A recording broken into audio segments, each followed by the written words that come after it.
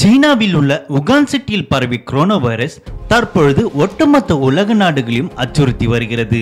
இதுவரை இந்த கொரோனா வைரஸால் நாற்பதாயிரத்துக்கும் மேற்பட்டோர் பாதிக்கப்பட்டுள்ளதாக அந்நாட்டு அரசு தகவல் வெளியிட்டுள்ளது. மேலும் வைரஸ் தாக்குதலை கண்டறியும் உபகரணங்கள் சீனாவில் பற்றாக்குறையாக இருப்பதால் பாதிக்கப்பட்டவர்கள் எண்ணிக்கை சீன அரசு அறிவித்ததை விட அதிகமாக இருக்க வாய்ப்புள்ளதாக கருதப்படுகிறது. இந்நிலையில் கொரோனா வைரஸால் விழுந்தவர்களின் எண்ணிக்கை தற்பொழுது ஆயிரத்தை தாண்டியுள்ளது. மேலும் இரண்டாயிரத்தி இரண்டாம் ஆண்டில் சீனாவை தாக்கிய சார்ஸ் நோய் பரவலுக்கு பிறகு சீனா எதிர்கொள்ளும் மிகப்பெரிய பொது சுகாதார சிக்கல் இதுவே ஆகும். சீன நாடு முழுக்க கொரோனா வைரஸால் பாதிக்கப்பட்டிருந்தாலும் உவான் மற்றும் உபே பகுதியை சார்ந்தவர்கள் அதிகம் இருந்துள்ளதாக தகவல் வெளியிடப்பட்டுள்ளது. இரண்டு நாட்களாக வைரஸ் தாக்குதலின் வீரியம் குறைந்து வருவதாக வேர்ல்ட் ஹெல்த் ஆர்கனைசேஷன் தெரிவித்துள்ளது.